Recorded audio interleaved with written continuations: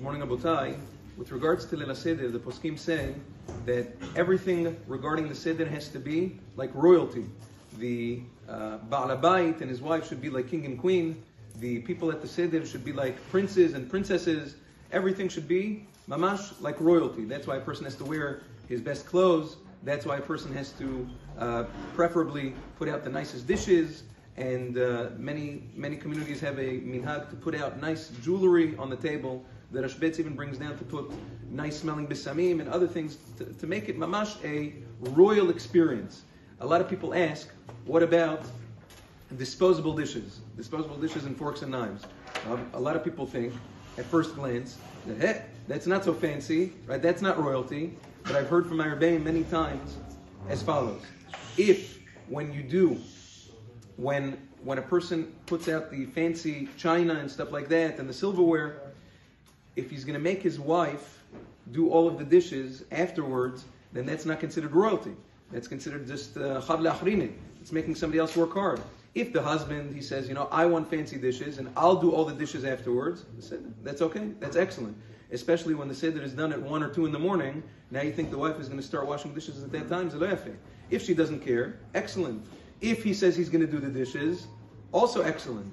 But if he doesn't want to do the dishes, and neither the she 2 in the morning, so over there the royal dishes become the disposable ones. That becomes royalty right? That they're also they make nice ones over there, so that's also considered part of uh, Oneg Yom Tov. Is that also this year with regards to Leil Shabbat? The Leil Seder falls out on Leil Shabbat.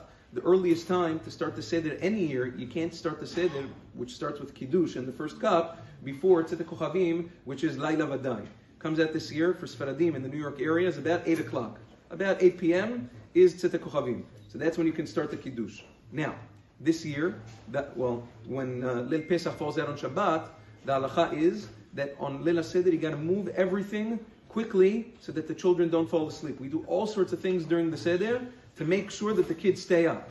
Therefore, the poskim say, Paskins on a year like this, there's no Shalom Aleichem, no Eshet Chayil. You come home straight, hopefully, like the poskim say, Shulchan Aruch says even, to set the table before, when it's still daytime outside. So when you come home from shul, immediately you start the kiddush. No shalom aleichem, no eshet chayil, so as not to unnecessarily schlep. Anyways, you don't need the malachim. This night it's leil shimurim. You have a kadosh baruch hu ve'atzmo protecting you. So, huh? The minhag is not to say shalom aleichem and eshet chayim belel pesach shechal lihiyot b'shabbat. That's why if you look in any Haggadah shel Pesach, right, many times Leil Pesach falls out on Shabbat. Not one Haggadah Shel Pesach prints, Shalom Aleichem and Eshet Chayil. Why? Because not the minhag. We don't do it. So that's with regards to that. Yom Tov. Hatzlacha